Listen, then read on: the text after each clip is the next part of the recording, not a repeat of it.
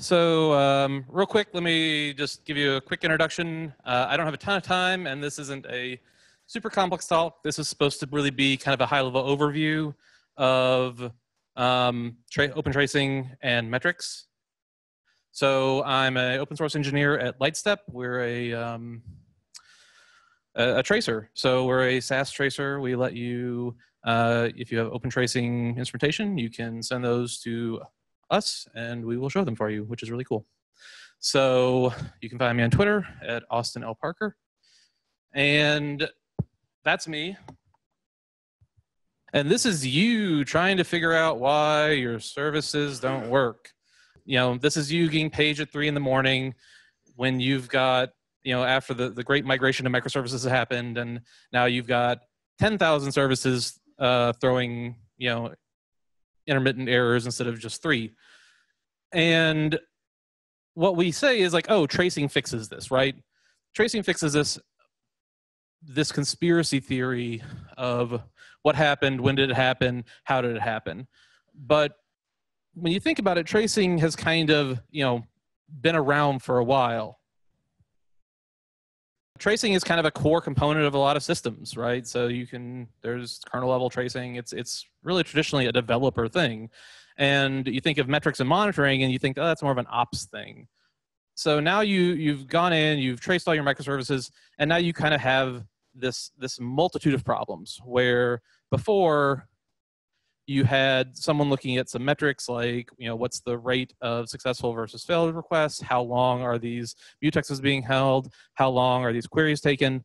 And then you've got your tracing over here which is saying like oh i can see you know request comes in goes down and goes through kind of all these these different parts of the trace and now i've had to kind of maybe doubly instrument my application code right so instead of having you know one thing that's reporting to a statsd endpoint i've got one thing reporting to statsd endpoint, another thing reporting to my open tracing tracer, um, maybe another thing for you know whatever other random reason. And it's there's a couple of other problems beyond all that. You know, tracing is hard to kind of get buy-in for sometimes because you don't want to get locked into a vendor. Uh, you don't, you know, I, I come from the .NET world primarily, where it's like, uh, congratulations, you use Microsoft Stack for everything, which is great until you want to stop using the Microsoft Stack at any point of this, and now you're screwed.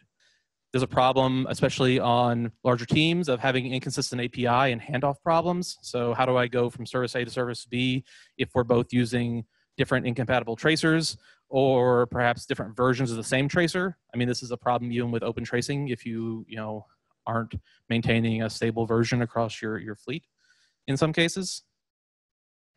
So open tracing fixes some of these problems, fixes a lot of these problems because open tracing says, well, here's a pretty lightweight API that is vendor neutral that I can roll out across everything. And then if team A wants to use one tracer, team B wants to use a different tracer, that's fine. If we want to replace the tracers, that's also fine. And really importantly here, open tracing separates what you choose to instrument from what you choose to collect.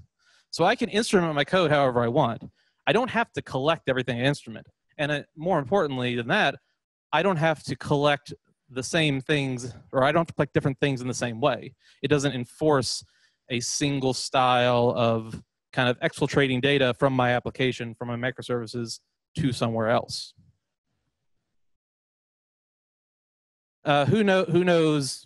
I feel like this thing keeps cutting out. Am I crazy? Um, who knows tracing at all? Show hands eh, pretty good.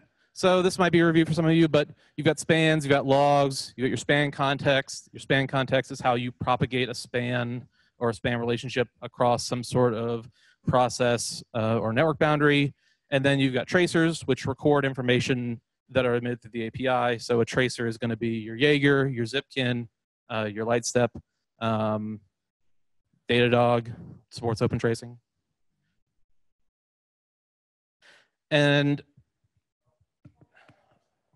rather than creating separate instrumentation for all of your different things you want out with open tracing by using those spans by using baggage to kind of put not random, but put things in there that you might care about looking at later down the line, you're able to take the single stream of uh, stuff and you're able to pick out different things. So you can get events out, you can get traces out.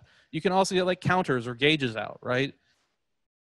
The API itself gives you sort of these building blocks that you can use to create metrics at the uh, later than you you know later than you might think right? So at the point that you're going through and you're shipping stuff off to a tracer you could also say well hey here's everything with an operation name. Every span has to have an oper- associated operation name. I can pull that out and i can use that to correlate events. I can use that to correlate metrics. I can use a span duration. So i can use hey how long did it take to i have instrumentation around uh, this particular sql query. I can use that duration and then report it out to prometheus or something by modifying my tracer itself, not by modifying my instrumentation. Same thing with logged errors. So a really common pattern when tracing is that you have a try catch, you know, finally, and then if you catch, you emit an error event back into your span. So at the point that your spans are being processed and shipped off to your tracer, you can have another thing that says, oh, I see an error there. I'm going to throw that over to my Prometheus endpointers, whatever, as an error event, and then I'm going to count that as a metric. Finally, uh, and I mentioned this before, baggage items. So really, baggage is just kind of an arbitrary KV. Um, ultimately, the text map.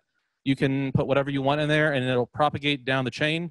So you can create counters or gauges or really anything you want early on the life cycle of a trace, and then add to it, let it, you know, do whatever in terms of adding extra timings, adding more data to it, and then at the end, when the trace finishes, it can get shipped off to your whatever your metrics platform is. There's some other stuff that we're doing in open tracing itself that will really help all this. So one is a concept of a tracer observer as a first class thing in open tracing. The idea behind the tracer observer basically being that you could create middleware that plugs into a tracer. Think of it this way. Right now, you would have to kind of modify a tracer client itself in order to a client library in order to sort of pull these events off and ship them off somewhere. With the tracer observers, you'd be able to write, you know, sidecars or extensions or whatever that could just basically look at everything going through the tracer and then make decisions based on that. The first part of Tracer Observer, which is what we're calling trace identifiers, um, this is exposing a way to get the span and trace ID out of a span context that is in RFC and it's actually kind of working its way through implementation into, I believe, the Java library right now, but we're working on getting it everywhere. So if you're interested in either of those, you can see the uh, issues here. Uh, the other thing, and maybe more pie in the sky, is it would be cool to have like a metrics format just as part of open tracing. You know, I know Open Census does some of this, but it would be neat if there was like a, hey, you can here's a lightweight metrics format in the same way that open tracing says here's a lightweight span format and you could swap that out under the hood. One last thing is lightstep is holding a observability practitioners summit at kubecon seattle. So if you're planning on being at kubecon you can sign up for this. It's a one day workshop on the 10th uh, we're also looking for papers um, so if you have kind of any real world experience in observability, so that could be metrics, monitoring, tracing, whatever, uh, you want to come talk about it, please feel free. In fact, I, I heartily encourage you to submit a paper. It's bit.ly slash observability dash summit dash CFP. Uh, and if you have any more questions about that specifically, you know, come find me afterwards. We can talk about it for a minute. But we would really, we're really excited to have people that have kind of been in the weeds on some of this and want to share what they've learned and talk to other people that have been in the weeds on this so that we can all sort of like, you know, sit down and nerd out about tracing and metrics and stuff like that. So that's my talk. I hope you enjoyed it.